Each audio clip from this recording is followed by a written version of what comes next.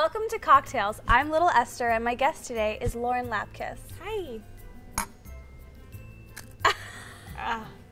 Okay, so these are real questions from elementary school kids who are in a sex ed class. Wow, that's so early.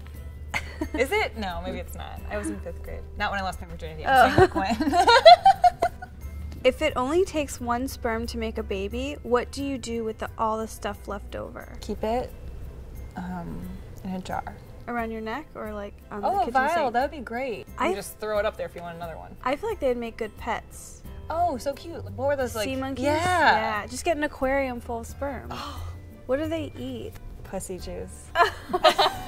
What is the purpose of pubic hair? it's like just to kind of hide your vagina.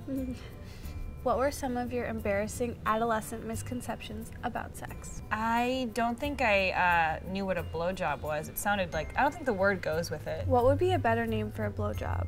Like a big suck. Like, can I stop this? Yeah. yeah, we don't need a name. Let's just get rid of it. Blowjobs are too 90s. Like, yeah, they're so on. outdated.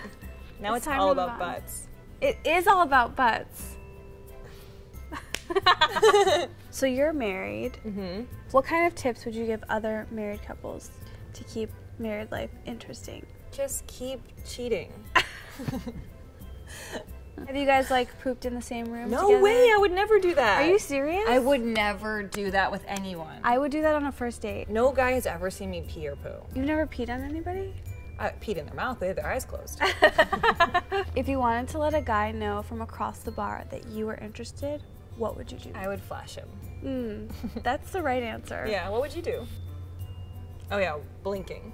They'll definitely come over and ask you if you're okay. What's the sexiest way you think to sit down on a couch? Like if you were a Bond girl, how would you sit on a couch? Oh, should I show you? Oh, you're right. But now I have nowhere to go. okay, I'm gonna try to guess your first sexual partner in 10 seconds. Okay. Frank, No, Rob, no, Ted, no, Rick, Jake, no, Josh, no, Dan, no, Luke, no. I really think you might get it though. Will, No. Well, William, No. Bill. Like first ever anything? yeah. No. What do you think Hillary Clinton's orgasms sound like? Get me that file.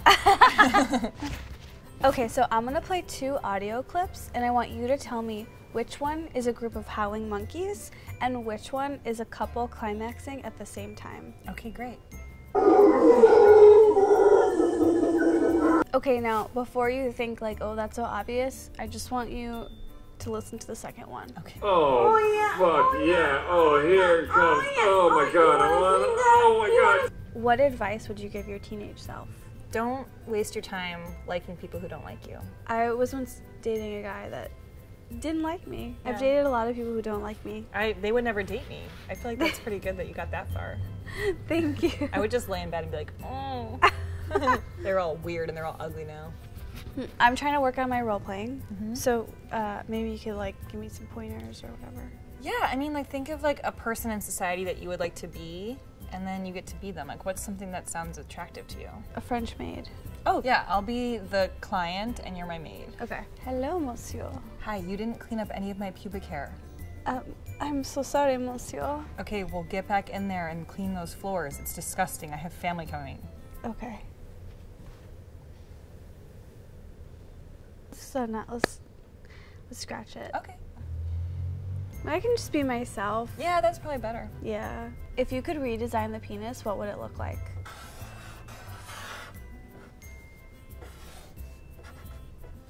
That's perfect. Yeah, it's a heart-shaped balloon, and the idea is that it's just really fun to look at and it's pleasant. And then when you're done, you can just pop it or let it go away. My Grammy Rose is here to give us some advice. Oh, I love grandmas. Hey, Grammy. The biggest erogenous zone is the mind. You want to have great sex? Have 'em fuck your mind first. Like through your ear? Lauren, thank you so much for being my friend and coming on my show. Thanks for having me. This is a condom balloon I give you as a parting gift. Thank you. It's flavored blue raspberry. oh.